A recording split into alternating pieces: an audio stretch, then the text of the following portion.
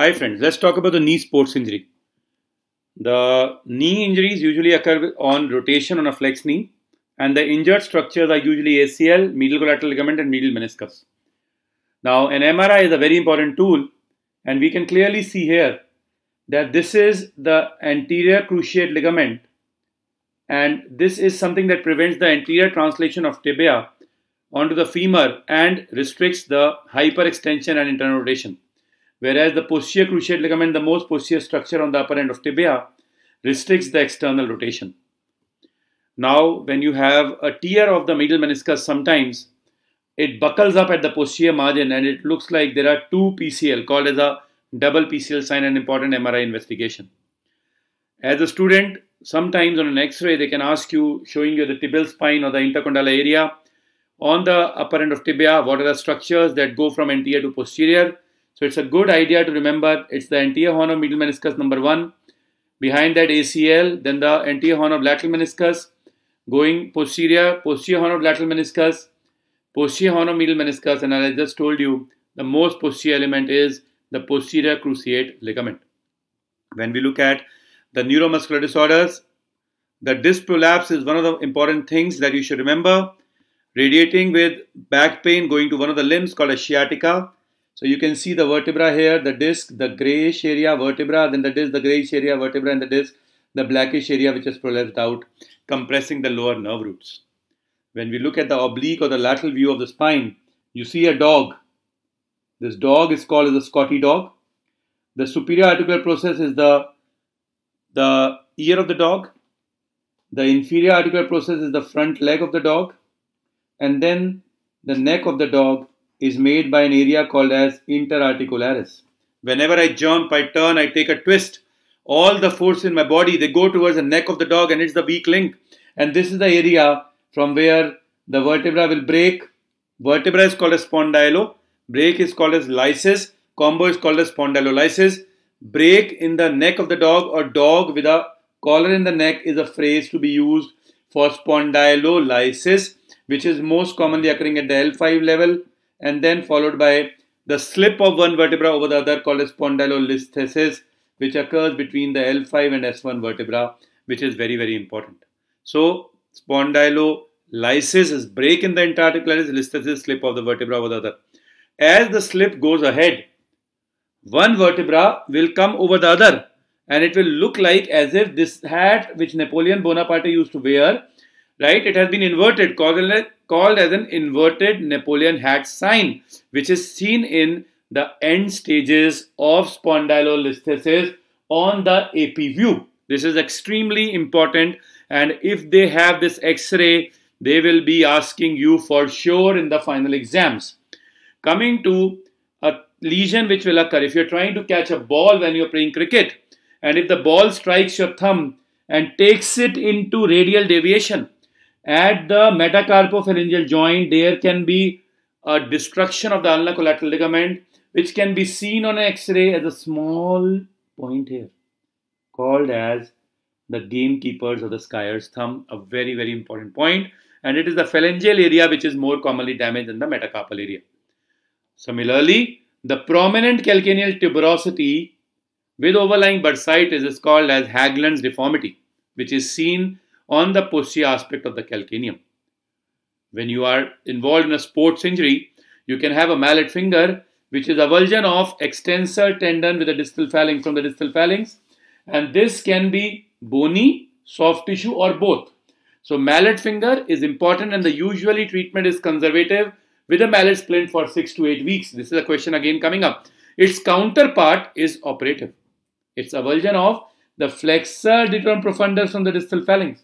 It's a zone 1 injury of the finger and the usual treatment is operative.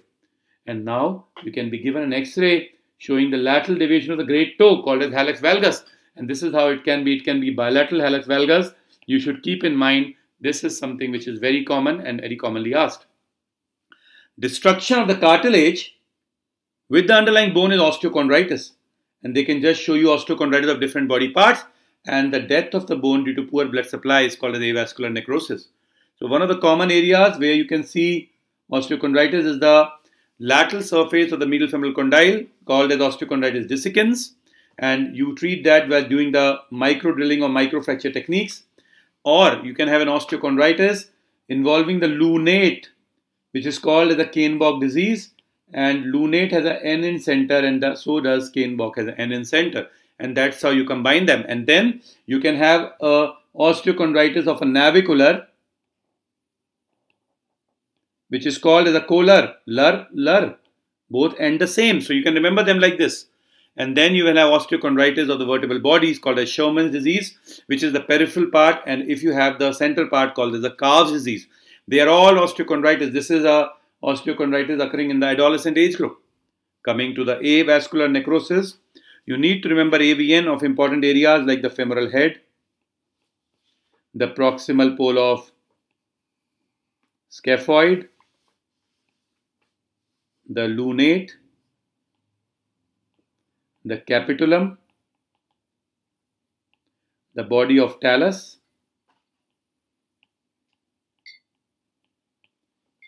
or the head of humerus. Rarely distal femoral condyles. So these are the seven areas where you see it. And remember, the dead bone is always white. The dead bone is always white. So it is the dead bone which is white because the vascularity is not there to cause osteopenia. So that's how the dead bone looks white. Similarly, the blood supply the scaphoid goes from distal to proximal. And when there's a fracture involving, it is the proximal pole which is known to undergo a vascular necrosis, and that's how the white. So, dead bone is white. Remember the rule. So, dead bone is white, that's the rule. And then this is again the head of humerus where it looks white. And this is called as a snow cap sign, which you should remember. This X-ray, if it's in the department, will be given to you, humeral head AVN.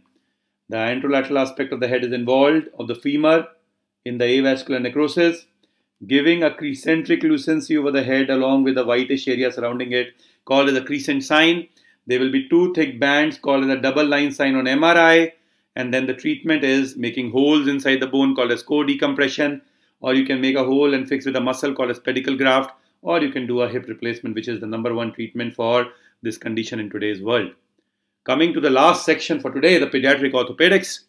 And you should remember that if there's something wrong in the head of femur or the acetabulum or the hip joint two movements which are limited are internal rotation and abduction so this movement in which the examiner takes the leg out takes the hip in, interrotation, and the abduction. These are two movements which are sensitive of indicating that there is something wrong in the joint. And if you have small femoral head and you have the shallow acetabulum, this is called as this is called as small femoral head and shallow acetabulum. This is called as developmental dysplasia of hip. There is a supralateral displacement of the head. That's how it goes. The Shenton's arch, which is the pubic rami, the head and the neck of femur, is broken. The femoral artery, which travels along the head, called as vascular sign of Narath, here the femoral artery travels, but there is no ground level resistance, so the artery pulsations cannot be felt. The size of the epiphyse is smaller. The acetabulum is shallow, unlike the properly curved acetabulum of the normal side. So shallow acetabulum, small epiphyses, broken Shenton's arch, vascular sign of Narath, positive supralateral displacement are the features of DDH. But right at the core of DDH is the shallow acetabulum that one should remember. And when I look at the classical test for DDH, if you abduct the thighs, the head goes in. This is called as the Ortolani maneuvers. Ortolani, hip ko andar lana means trying to reduce the hip inside.